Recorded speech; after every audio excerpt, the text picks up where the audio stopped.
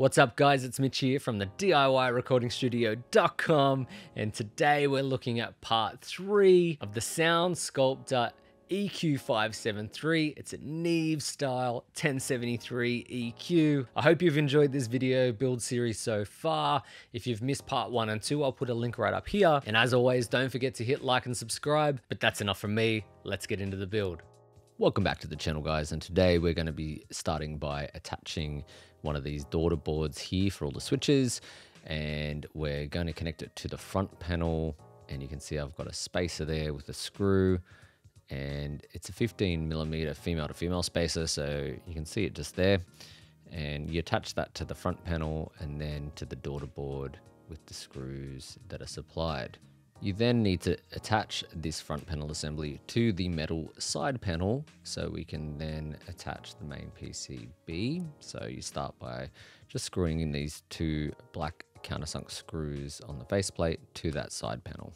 And then we need to install the main PCB on that side panel, inserting the 2x40 pins header into those PCB holes. So you can see there with just some gentle pushing, if you've soldered this all nice and neatly, it should go in quite easy. And then you can attach it with the two M3x6 screws and two of the shake proof washers.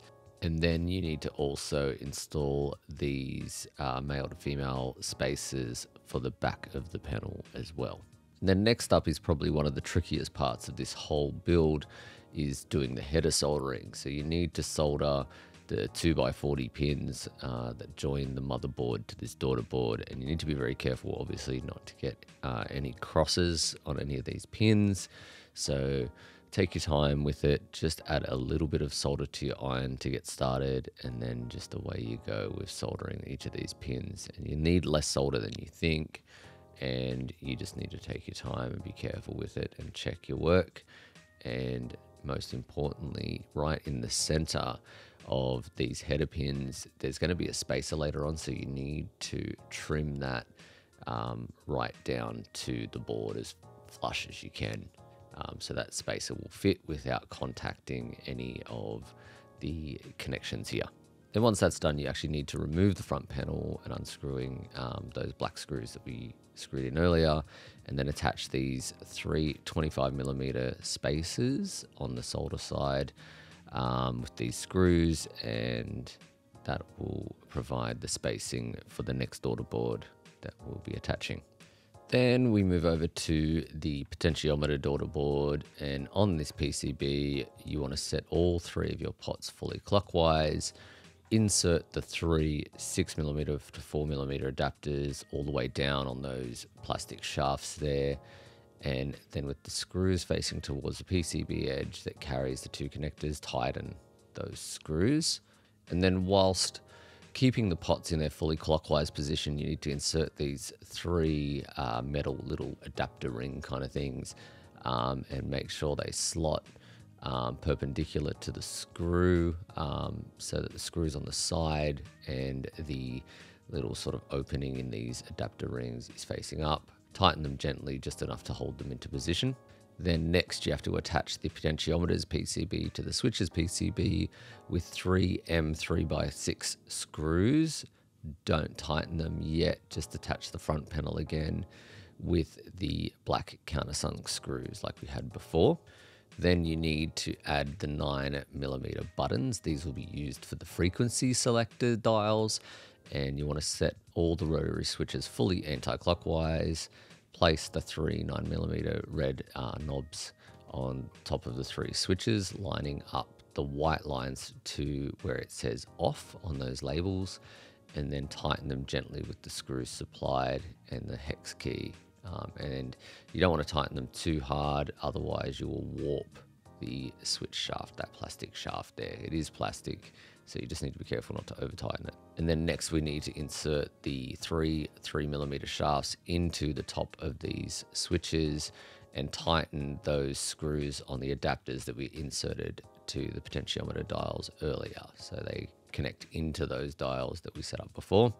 Then you want to set all your potentiometers to 12 o'clock by turning those adapters that we just put in. You'll feel like a center click once it's at 12 o'clock. And then you can take the three black knobs for the three top switches, lining those lines up vertically, and then tighten the screws for these knobs with the hex key supplied.